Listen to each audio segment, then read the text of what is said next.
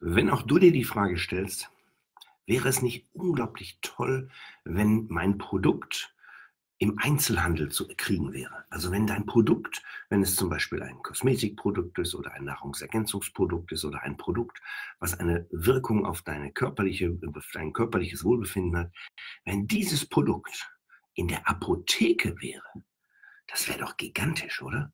Wäre es nicht unglaublich toll, wenn du in der Lage wärst, einen Apotheker zu finden oder ganz viele Apotheker zu finden, die sagen, ja, genau dieses Produkt, das hat uns noch gefehlt, das würden wir super gerne bei uns in dieser Apotheke verkaufen. Wäre das nicht ein schöner Gedanke? Wenn du verstehen möchtest, warum dieser Gedanke eine sich nicht erfüllende Utopie ist, warum das nicht funktioniert, warum mit der Idee, dein Produkt in den Einzelhandel zu geben, zwei Systeme aufeinander kommen, die überhaupt nicht vereinbar sind, dann bist du hier heute ganz richtig in diesem Morning Call mit Markus Milka aus Köln und auch in dieser Podcast-Aufzeichnung von Denk wie ein Networker. Einen schönen guten Morgen an diesem Samstag, dem 11. Mai 2019. 11. Mai 2019 aus Bad 9a Arbeiter. Ich bin wieder unterwegs Diesmal ein Familienwochenende, weil meine Eltern beide älter geworden sind. Wir werden alle älter, aber sie hatten beide Geburtstag im Frühjahr. Und ähm, ja, jetzt haben wir uns gefunden als Familie und verbringen hier leider im Regen ein wunderbares Wochenende. Ich habe euch gestern versprochen, dass wir heute über die Apotheke sprechen. Die Apotheke ist natürlich eine Platzhalter. Du könntest Apotheke auch gleichsetzen mit, ähm, ja, mit Edeka oder Rewe. Oder du könntest auch hergehen und könntest dir ähm, den, wenn du, wenn, du, wenn du ein Produkt hast, wenn du Hundefutter vielleicht vertreibst, könntest du dich ähm, mit äh, Fressnapf oder mit anderen Hunde, Pet and Toy gibt glaube ich, auch noch so, so, so Ketten vereinbaren. Oder wenn du einen Kaffee vertreibst, könntest du dich fragen, ähm, ob nicht dein Produkt auch bei Chibo wunderbar gelistet werden könnte. Und dann würde der Herr Chibo ein bisschen mehr Geld verdienen, weil er jetzt, nach, nach, jetzt auch noch Network Marketing macht. Aber ich habe mich für heute für, das, für, die, für, die, ähm, für die Apotheke entschieden. So, weil ich, was, immer wieder passiert mir eins. Folgende Situation hat sich auch letzte Woche ergeben. Da kommt eine Person zu mir und sagt, Markus, ähm, ich habe ein Problem. Weil ich immer frage, was ist deine größte Hürde? Was ist dein größtes Problem im Network Marketing? Und letzte Woche war das größte Problem, ja, Markus, ich brauche mehr Mut. Ich sage, wofür? Ja, ich traue mich nicht. Ich traue mich zum Beispiel überhaupt nicht in eine Apotheke zu gehen und mein Produkt vorzustellen. Und ich sage so, ja, warum solltest du das tun? Ja, damit die Apotheke das verkauft, damit die Apotheke mehr Umsatz macht. Ich sage, ah, du, du gehst also über die Straße und denkst dir, oh, da ist eine Apotheke. Ich wünsche mir so sehr, dass die mehr Umsatz macht.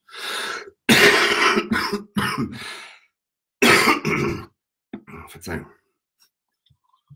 Und dann ähm, lacht die Person mich so an und sagt, ja, nee, ich, möcht, ich möchte schon mehr Umsatz machen. Ich möchte ja, dass mein Geschäft endlich anläuft. Ich möchte ja, dass mein Geschäft endlich funktioniert. Ich sage, okay. Das heißt, du möchtest also mehr Umsatz machen und siehst eine Apotheke und denkst, ah, die Apotheke, wenn die mein Produkt verkauft, dann werde ich ja super erfolgreich. Ja, wenn die Apotheke einfach nur, da kommt jemand in die Apotheke rein und sagt schönen guten Tag und dann sagt die Apothekerin oder die Angestellte der Apothekerin, ach, wir haben hier ein ganz besonderes Produkt und zeigt dein Produkt und verkauft dein Produkt dem Kunden. Und dann nimmt dein Kunde, nimmt der Kunde, kauft das Produkt in der Apotheke und nimmt das wieder mit und du hast dann natürlich einen Erfolg erzielt. Ist das dein, ist das die Vorstellung von dir? Ja, finde ich toll. Dann habe ich gesagt, wie kommt denn das Produkt in das System der Apotheke? Wie meinst du das? Aber die Apotheke hat doch ein System. Die Apotheke hat doch, also wenn ich das, wenn ich in der Apotheke bin, guckt die Frau immer in einen Bildschirm, ich bestelle ein Produkt und sage, haben Sie das da? Und dann guckt die in den Bildschirm und dann sagt sie, ja, haben wir da oder können wir Ihnen bestellen bis, bis 13 Uhr oder bis 18 Uhr. Und bei meiner Apotheke ist das so, dass die das sogar auch, die einfach nur sagt, ich, die tippt das ein und dann fällt das hinterher, dann haben die so ein, so ein wahren Wirtschaftssystem und dann fällt das praktisch hinter der Frau in so, ein, in, so, in, so, in so ein Kästchen. Das ist also irgendwie automatisiert. Vielleicht steht da auch einer, der das aus dem Lager nimmt und da reinwirft, weiß ich nicht. Also für mich als Kundensicht fällt das einfach hinter der Frau in so ein Kästchen, die dreht sich rum und sagt, hier ist ihr Produkt und ich bezahle das Produkt. Ich habe gesagt, wie kommt dieses Produkt in dieses, in die Apotheke? Das konnte sie nicht beantworten. Ich habe gesagt, ist das so, dass das Produkt irgendwie, das muss ja irgendwie in das wahre Wirtschaftssystem. Sitzt dann die Apotheke da und nimmt dein Produkt von deiner Firma und sagt, so, jetzt haben wir wieder fünf Stück bestellt, jetzt müssen wir die irgendwie eintragen. Wie, wie, wie, wie, wie, wie, wie, wie kommen diese Systeme zueinander? Also die Frage konnte, konnte, sie, mir, konnte sie mir nicht beantworten. Ich habe dann eine andere Frage gestellt. Und ich habe gesagt, was erklärt denn der, der Apotheker seiner Mitarbeiterin, der Apothekenangestellten, die vielleicht auch Apothekerin ist, aber die bei ihm arbeitet, dass er jetzt ein Network Marketing Produkt im Laden hat dass das anders zu behandeln ist als alle anderen Produkte und dass, wenn es bestellt werden muss, das nicht über diesen, den, den, jede Apotheke ist ja an so einem, an so einem Großhandel angeschlossen, weil die, deshalb würde, wird ja auch funktionieren, wenn mein Medikament nicht da ist, dann kommt das ja innerhalb der nächsten zwei, drei Stunden ist es ja da. Ich kann es ja mittags oder dann abends um 18 Uhr, wenn die Apotheke ähm, vielleicht bis 19 Uhr aufhört, kann ich das ab 18 Uhr abholen. Das heißt, wie erklären wir das denn? Ihr wisst, wo es darauf hinausläuft. Ich war also, ich wollte der, ich wollte der, der, der, der Person, mit der ich gesprochen habe, eine Selbsterkenntnis verschaffen, weil ich glaube, das ist noch wichtiger, wenn man selber versteht, warum etwas nicht funktioniert. Und ähm, in spätestens beim Moment, in dem Moment, als ich, als er verstanden hat, dass der Apotheker, der sich vielleicht für dein Produkt interessiert und es dann in seine Apotheke stellt, äh, dass er ja, wenn er sich selber die fragt, wie dupliziert sich das jetzt, dass er ja in der Apotheke seinen Mitarbeitern das erklären muss, wie das funktioniert. Und er hat wahrscheinlich auch rechtliche Rahmenbedingungen, dass er, dass ein Apotheker, der hat ja, es gibt ja einen Grund, warum man immer sagt, äh, fragen Sie Ihren Arzt oder Apotheker. Das heißt, der Apotheker hat immer die, die, den Status eines Fachmanns. Also hat der Apotheker auch ein paar Rahmenbedingungen. Wenn also der Apotheker dein Produkt aufnehmen sollte und es verkaufen sollte und dann seine Mitarbeiter, die auch in der Apotheke arbeitet, informiert, müsste er sich ja komplett ins Network Marketing System involvieren, weil er ja erklären muss, ha, du kannst nämlich jetzt auch bei mir Vertriebspartner werden. Du, mein Mitarbeiter. Jetzt hast du einen Mitarbeiter in der Apotheke, den machst du zu einem Network Marketing Vertriebspartner und erklärst ihm den Marketingplan. Und dann hast du die erste Situation, dass du dich fragen musst, arbeitet der Mitarbeiter jetzt in meiner Apotheke? Immer noch dabei, immer noch daran, meine Kunden richtig zu informieren über das, was der Arzt gesagt hat, was der Arzt verschrieben hat? Oder haben meine Mitarbeiter plötzlich die Aufgabe, mein Network Marketing Produkt äh, zu empfehlen und praktisch in Konkurrenz sich zu stellen zu den, äh, zu den Pharmaprodukten, die dort sind? Das konnte sie mir auch nicht beantworten. Ich sage, das nächste ist, dass in einer Apotheke jeden Tag Dutzende von Vertrieblern reinlaufen, die von der Pharmaindustrie kommen, die die Apotheke mit Werbekostenzuschüssen und wie auch immer ausstatten. Die sagen, wir wollen die Platzierung, wir haben eine Aktion, wir sind ein, wir sind ein Nahrungsergänzungsmittel, wir sind ein kosmetisches Produkt, wir sind ein OTC-Produkt, also OTC heißt Over the Counter, was ohne Rezept vertrieben werden kann, wie zum Beispiel Kopfschmerztabletten, Aspirin und solche Sachen. Das System Apotheke ist ein komplett in sich geschlossenes Handelssystem. Und ein, ein Handelssystem ist ein komplett anderes System als das Network Marketing System. Und deshalb möchte ich gerne diese beiden Systeme nochmal miteinander vergleichen wenn du ein Handelssystem hast, so ist, so ist ja das, was wir alle kennen, äh, hast du ein Produkt, nehmen wir mal dieses, nehmen wir mal dieses Wasser hier als Produkt und du hast in diesem, in diesem Wasser, äh, gedanklich sind in diesem Wasser viele Dinge enthalten. Es ist einmal das Produkt selber enthalten, in diesem Fall ist es Wasser, aber es ist, ähm, es ist auch was anderes enthalten. Es ist natürlich die Verpackung des Produktes enthalten, es ist ähm, aber auch enthalten, dass dieses Produkt ähm, neben seinem Warenwert auch einen Wert braucht, um es zu vertreiben. Es muss über eine gewisse Struktur vertrieben werden. Es muss in einen Großhandel, vom Großhandel muss es in den Einzelhandel, weil ich bin jetzt hier in einem Hotel. Wie ist das Wasser hier in das Hotel gekommen? Das ist ja nicht vom Fabrikbesitzer, Wasserhersteller, hier in diesem Fall ist es äh, Apollinaris, Vio, der hat ja nicht in diesem Hotel hier angerufen, sondern das hat wahrscheinlich ein Außendienstler gemacht, der mit seinem Auto hier vorgefahren ist und hat dieses Hotel überzeugt, doch das Wasser zu nehmen. Dieser Außendienstler ist bei einer Firma beschäftigt. Diese Firma bezieht das Wasser wahrscheinlich auch nicht direkt von Apollinaris, sondern von einem Getränkegroßhändler, der irgendwo in der, in der, in der Gegend hier sitzt. Das heißt, wir haben schon mal den Hersteller, wir haben einen, wahrscheinlich einen, äh, wenn es ein ausländisches Produkt ist, hätte man auch einen Generalimporteur fürs Land. Dann hast du einen Großhändler und dann hast du einen Zwischenhändler, also nicht immer, aber der, es könnte so sein. Und dann hast du den Einzelhändler, der das Produkt letztendlich hat, oder den Verbraucher, sprich die, die, die, das Hotel hier in diesem Fall.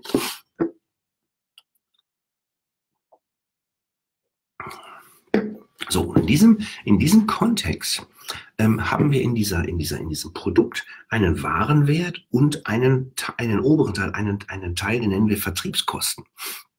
Zusätzlich zu den Vertriebskosten wird aber noch was anderes drin sein, weil wir brauchen auch noch Marketing. Wir brauchen auch noch, äh, äh wir brauchen auch noch äh, die, diese, diesen, diesen Teil, den wir Werbung nennen. Bei vielen Produkten ist es ganz auffällig, da muss Werbung gemacht werden, damit die Produkte überhaupt gekauft werden. Denk mal an Coca-Cola, an Werbespots von Coca-Cola, an den Cola Lightman, denk mal an den Coca-Cola Truck, der durch die Gegend fährt. Und ich glaube, man kann sagen, dass man, wenn man zum Beispiel das, ist, das, ist, das, das Produkt Coca-Cola nehmen, es sollte man immer gesagt, es ist ungefähr ein Prozent Warenwert in der Flasche Coca-Cola und 99 Prozent Vertriebskosten. Und wenn, als ich Network Marketing kennengelernt habe, hat man mir gesagt, Markus, das hier ist das Handelssystem aber gegen das Handelssystem. Es gibt ein, eine andere Vertriebsform für Produkte. Es gibt nämlich Firmen, die machen überhaupt keine Werbung und reduzieren ihre Vertriebskosten auf ein Minimum. Und das geht, indem sie Empfehlungsmarketing machen. Nehmen wir jetzt mal hier ein anderes Produkt. Das Produkt hier, das ist natürlich jetzt ein Beispiel, ist auch die gleiche, gleiche Firma, aber dieses Produkt hier hat, ist ein Empfehlungsprodukt von, aus dem Network Marketing und hat per se erstmal einen höheren Warenwert, weil das Produkt wird hergestellt. Es ist ein wahrscheinlich ein erklärungsbedürftiges Produkt, ein Produkt, was du, was du, ähm, was, was ganz besondere Inhalte hat, was ganz besonders zusammengesetzt ist, was eine ganz besondere Wirkung hat. Und dieses Produkt ähm, kann sich eigentlich nur verbreiten, indem jemand, der Ahnung von dem Produkt hat, es einem anderen erklärt und der dann sagt, wow, das wäre ganz cool wenn das wird. Und in der Regel wird dieses Produkt auch immer nur dann angeboten, wenn der andere einen Bedarf hat. Wenn der andere sagt, ich brauche das. Ja, wenn es also ein Produkt ist, was äh, mit deiner Haut was macht, wenn es ein Produkt ist, was, was besser, was gut reinigt, wenn es ein Produkt ist, ähm, was, äh, wenn es ein Getränk ist, was eine bestimmte Wirkung auf dich hat, was auch immer. Das muss, muss ja irgendwie erklärt werden. Du kannst ja nicht einfach nur draufschreiben, ist gut, dann würdest du ja wieder für das Produkt Werbung machen. In der Regel ist dieses Produkt sehr neutral. Es steht zwar ein Produktname drauf, aber man sagt im Network Marketing im Vertriebsweg ist, man hat 50 Prozent Warenwert. Damit garantiert das Produkt auch, dass es hochwertig und höchstwertig ist. Und die anderen 50 Prozent gehen direkt an die Menschen, die das Produkt empfehlen. Deshalb heißt es Empfehlungsmarketing. Es geht natürlich nicht alles, nicht der gesamte 50-Prozent-Satz an, an eine Person, sondern es wird in einem sehr intelligenten System so verteilt, dass sich, dass eine Vertriebsstruktur, die aufgebaut werden kann, auch Sinn macht. So, wir haben also nur zwei Elemente. Wir haben also hier Warenwert und Vertriebskosten, die man in einem Marketingplan zusammenfasst. Und bei dem anderen Produkt haben wir Warenwert und ganz viele Vertriebskosten. Und diese Vertriebskosten beinhalten ganze Vertriebsstruktur, Zwischenhändler, Importeur, Einzelhändler und so weiter und die Werbung, die ausgestrahlt werden muss. Das heißt, wir haben zwei Systeme, die überhaupt nicht übereinkommen, weil sie unterschiedlich funktionieren. Und wenn du jetzt hergehst und nimmst dein Produkt und sagst, ich möchte mein Produkt, was ein Empfehlungsprodukt ist, ich möchte es in eine Handelsstruktur integrieren, ist das ungefähr so, als ähm, würdest du Wasser und Öl versuchen zu vermischen. Wasser und Öl kannst du nicht vermischen. Du kannst es zwar mal ordentlich rühren, dann gibst du, hast eine Emulsion, aber eigentlich verteilt sich, Wasser schwimmt immer auf Öl und die verteilen sich nicht, die passen nicht zueinander. Und der einzige Grund, warum du das machen möchtest, der einzige Grund, was der dich motivieren könnte, diese beiden Systeme zu vermischen, ist, du suchst eine Abkürzung. Du möchtest gerne, dass dein Geschäft schneller funktioniert. Und du glaubst, du bist super clever, wenn du hergehst und sagst, ich habe es verstanden. Ich nehme jetzt mein Empfehlungsprodukt und geh mal zu Rewe und ruf den Herrn Rewe an. Den gibt es natürlich nicht, ja? Rewe ist eine Aktiengesellschaft, das ist ein Kunstname. Ich rufe aber trotzdem mal den Vorstandsvorsitzenden an und sage, hören Sie mal, Sie wollen doch bestimmt ein bisschen Geld nebenbei verdienen. Ich habe da ein tolles Produkt. Ich bin nämlich jetzt Vertriebspartner bei der Firma Y. Und die Firma Y, die hat ja mal das Knallerprodukt schlechthin. Und wenn Sie dieses Produkt in Ihren Laden stellen, werden Sie sofort sehr, sehr erfolgreich. ich hoffe, dass das Bild an sich schon deutlich macht, dass das nicht funktionieren wird. Weil der wird sagen, okay, und wie, wie soll ich das jetzt machen? Wo kriege ich das Produkt her? Wie viel muss ich davon bestellen? Wie viel tausend Paletten muss ich bestellen, damit ich das in alle meine Rewe-Läden in ganz Europa listen kann? Kann nicht funktionieren, ist, der, ist die Suche nach einer Abkürzung. Also das heißt, ein Network-Marketing-Produkt gehört nicht in den Handel. Es gibt aber immer noch, es gibt ein paar Randbereiche, wo das doch sehr gut funktioniert. Jetzt stell dir mal vor, es gibt ein Sportstudio. Und ein Sportstudio ist ja auch eine Struktur, die eine, die, die, die irgendwie funktioniert. Und da gibt es auch manchmal Produkte und auch die könnten theoretisch ein wahres Wirtschaftssystem haben. Aber wenn wir jetzt mal ein Stück tiefer gucken, wer ist denn der Betreiber eines Sportstudios? Das ist in der Regel eine Person, das ist vielleicht auch eine Gruppe von Personen, vielleicht zwei Kumpels oder ein Mann und eine Frau, die ein Sportstudio betreiben. Was ist das Interesse des Sportstudios? Das Interesse des Sportstudios ist, Menschen zu finden, denen sie einen Trainingsraum und vielleicht auch Einzeltrainings anbieten. Jetzt hat das Sportstudio natürlich ähm, ähm, vielleicht unter anderem das, das, das, das Interesse oder die Möglichkeit, seinen Kunden Gewichtsreduzierung. Also hier, wird fitter, wird, wird, wird, wird schlanker, wie auch immer. Vielleicht gibt es solche Kurse. Und was sie auch haben, ist, sie haben Trainer, die sie dafür einsetzen. So, jetzt ähm, passiert folgende Situation. Jetzt hast du vielleicht in deiner Firma ein Produkt, welches sich eignet zur Gewichtsreduzierung, weil es ein, ja, weiß ich nicht, ein unterstützendes Produkt ist. Und ähm, du kein Produkt zur, zur, zur Reduzierung hast, dann passt das jetzt nicht. Aber in der Idee kannst du es dir wahrscheinlich vorstellen, was ich damit meine. Und du lernst einen Sportstudio-Betreiber kennen. Und zwar die Person, den Inhaber, den, der das Sportstudio hat dann macht es doch vielleicht Sinn, wenn der zu dir sagen würde, boah, ich möchte halt irgendwie mal, ähm, ich habe, ich habe, ich habe, ich krieg so wenig Trainer oder meine Trainer wechseln immer wieder. Da wäre es doch total spannend, wenn er eine Art Kundenbindungsinstrument hätte, wie er seine Kunden noch besser bedienen kann und seine Trainer sogar einbeziehen kann in diese Situation. Wenn jetzt der Sportstudiobetreiber der bestimmt eine besondere Situation hat, ähm, versteht, das Produkt versteht, wenn du mit ihm über dein Produkt sprichst und er dieses Produkt gut findet und er dieses Produkt hervorragend findet, könnte ganz einfach folgende Situation entstehen. Er bietet dieses Produkt im Sportstudio an. Er stellt das zum Beispiel auf die Theke. Und die Kunden, die reinkommen, die dort einen Kurs buchen wollen, die werden dieses Produkt dort wahrnehmen. Vielleicht wird er auch, versteht er auch gar nicht. Vielleicht kann, auch, kann der Kunde das da auch gar nicht kaufen, sondern der, ähm, der, der Sportstudiobetreiber sagt, ja, wir lieben dieses Produkt, das ist ein ganz besonderes Produkt, das unterstützt das, was du bei uns lernen kannst, das unterstützt die, die, die, die Fitnesskurse und die äh, Abnehmkurse, die du bei uns machen kannst. Ähm, unterhalte dich da mal mit deinem Trainer drüber. Der Trainer wiederum hat sich mit dem Sportstudiobesitzer auseinandergesetzt und der Sportstudiobesitzer hat gesagt, du, ich habe da ein Produkt kennengelernt, das ist wunderbar, das ist ein Network Marketing Produkt und das hatte die und die und die Eigenschaften. Ich liebe dieses Produkt, ich habe das Produkt kennengelernt. Ich möchte gerne ähm, dich fragen, ob du damit auch einverstanden bist, ob du das Produkt auch gut findest. Weil ein Trainer, ein Personal Trainer zum Beispiel, hat ja selber als Person auch eine Verantwortung gegenüber seinen Kunden. Dann wird der Personal Trainer das Produkt ausprobieren und wird vielleicht sagen, wow, cooles Produkt, wunderbar. Jetzt ist der Sportstudiobesitzer, ist praktisch jetzt ein, ein Partner im Network Marketing geworden und macht seinen Angestellten oder seinen freiberuflichen Personal Trainer zu einem Vertriebspartner. Was passiert jetzt? Der Vertriebspartner hat mit einem Kunden einen, einen Kontakt und ist ähm, vielleicht auch freiberuflich oder wie auch immer mit dem Trainer verbunden und sagt, also ich nehme jetzt, nehme mal den freiberuflichen, den freiberuflichen Network Marketing Trainer, der sich mit demjenigen mal im Studio trifft, mal beim Waldlauf, wie auch immer. Und es entsteht eine Verbindung zwischen dem Kunden, der Sport machen möchte, und dem Personal Trainer. Und wenn dann der Personal Trainer dem Kunden in einer immer vertrauter werdenden Situation eine Empfehlung ausspricht und sagt, weißt du, wie du dein, wie du dein Gewicht, deine Gewichtsabnahme noch unterstützen kannst? Ich habe ein Produkt aus dem Network Marketing Bereich, welches ich liebe und was mir, was ich jeden Tag nehme, da sind Aminosäuren drin, da ist das drin, da ist das drin, wie auch immer, und das tut mir gut. Probier das doch mal aus. Dann ist die Chance, dass sich dieser Personal Trainer in seiner Kundschaft weil eine Beziehung, eine enge Beziehung entsteht, einen Kundenkreis von Nutzern dieses Produktes aufbaut, ist sehr groß.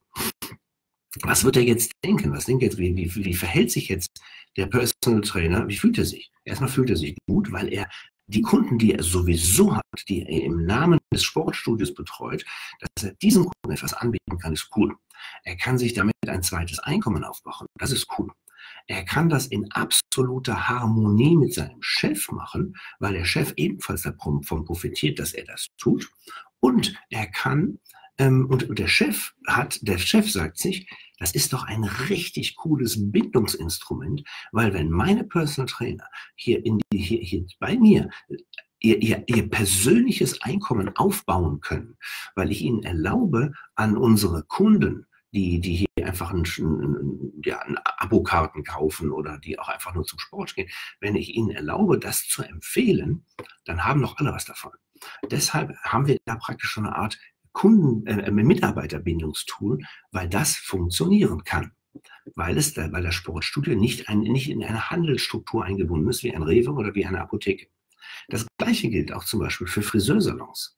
Du könntest theoretisch jetzt hergehen und kannst sagen, ich habe einen Friseursalon, ich habe fünf Mitarbeiterinnen und wenn du ein Produkt hast, was in irgendeiner Form in den Friseursalon passt und du deine Mitarbeiterin zu deinen Vertriebspartnern machst, dann ist das eine Sache, die hat nichts mit, der, mit, mit, dem, mit dem Geschäftsaufbau zu tun, sondern es ist eine private Geschichte, dass du dich äh, mit denen verbindest. Du musst natürlich überlegen, ob du vielleicht irgendwann mal in Konflikt kommst. Das ist die Entscheidung der, der, der, der Friseurmeisterin oder der, der Friseurladenbesitzerin und natürlich auch des Sportstudiobesitzers. Weil wenn du aus arbeitsrechtlichen Gründen irgendwann mal sagst, ich möchte mit dem Mitarbeiter nicht mehr zusammen, trotzdem in deiner Downline quasi trotzdem in einer Situation, dass es eine Konfliktsituation gibt.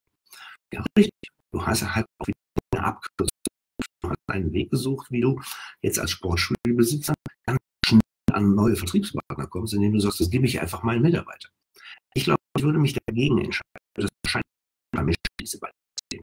Aber technisch könntest du sie vermissen, mischen, natürlich als Privatperson, der du, der du, du betreibst einerseits ein Geschäft, ein Sportstudio oder du betreibst einen Friseursalon, aber du bist ja auch eine Privatperson und du kannst als dir einen, dir einen Account machen oder du kannst ja auch als Geschäftsaccount dein, dein Network Marketing machen und kannst natürlich deine Mitarbeiter einbinden. Musst du selber entscheiden. Ich glaube, ich werde sehr vorsichtig, weil du nie so richtig weißt, wie sich das entwickelt.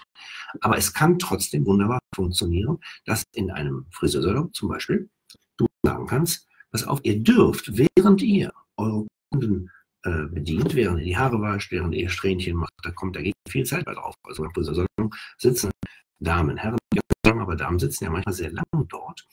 Ähm, in dieser Zeit darfst du auch über deine Produkte reden, weil dann entsteht wieder etwas. Die Mitarbeiterin sagt, oh, wie cool ist es, ich darf in meiner Arbeitszeit, an meinem Arbeitsplatz mit den Kunden von meinem Chef ein privates Geschäft betreiben. Ich kann denen von Produkten erzählen, die ich gut finde, die sie vielleicht auch gut finden. Und ich profitiere davon, aber mein Chef profitiert auch davon. Also haben wir in der Kette alle Spaß daran.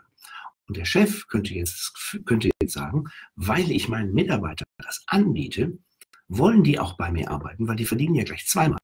Die verdienen einmal an der Haarschnitttätigkeit, wo ich sie für entlohne. Sie verdienen aber auch daran, dass sie sich ein persönliches Geschäft aufbauen.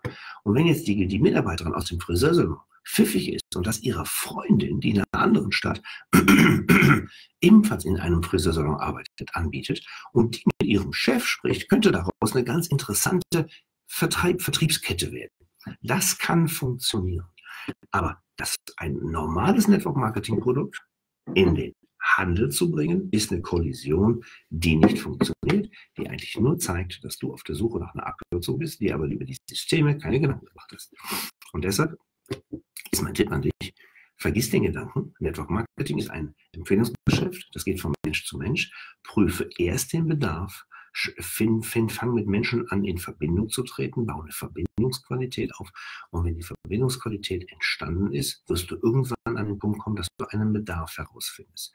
Da kannst du dich darauf konzentrieren, du kannst das Gespräch in die Richtung lenken, du kannst den Bedarf in die Richtung lenken, in Richtung Gesundheit, in Richtung Kaffee, in Richtung Reinigung, in Richtung Hunde, Futter, in Richtung whatever. Und so wird sich irgendwann vielleicht ein Bedarf entwickeln. Und wenn du unser System kennst, weißt du, wir arbeiten mit Reziprozität und irgendwann ist die Gegenseitigkeit gegeben, dass du sagen kannst, du, wenn ich dir für dein Problem, was du mir gerade genannt hast, eine Lösung bieten könnte, würdest du dir das gerne mal anschauen. Das ist der Inhalt von unserem ähm, von unserem Schulungssystem, vom Successberg beziehungsweise von der gesamten Networker Herzblut Denkweise.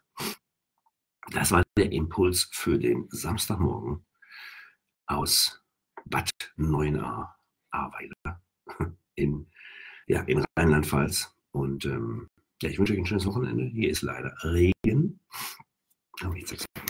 Hier sieht es jetzt, so sieht es gerade aus, wenn ich hier aus dem Fenster gucke. Das heißt also, hier ist ähm, nicht so dolle, aber ist auch noch früh. Haben wir gerade erstmal vier Minuten gebracht. Schön, dass ihr dabei wart. Bitte, wenn das, wenn das in eurem, in eurer Downline vorkommt, wenn ihr in, eurer, in, in, in eurer Downline Menschen haben, habt, die auch so etwas tun wollen oder wenn ihr selber manchmal diese Gedanken habt, vergisst diese Gedanken, verteilt dieses Video, lasst dieses Video die Welt mitbekommen und ähm, ja, das ist wichtig. Ich habe noch eine Ankündigung und zwar der für, äh, ich habe ja gesagt, wir machen nach den 90 Tagen Morning Calls, die wir ja vor, vor vier, fünf Tagen beendet haben, machen wir eine große Zusammenfassung, eine große Ankündigung. Ja, wir haben jetzt gestern den Termin fix festgelegt, weil mich viele schon gefragt haben, wie soll das funktionieren. Es wird am Sonntag nächste Woche stattfinden. Und zwar am Sonntag nächste Woche gibt es zwei äh, Spezialveranstaltungen. Die eine ist um 10 Uhr morgens, also am 19. Mai um 10 Uhr morgens.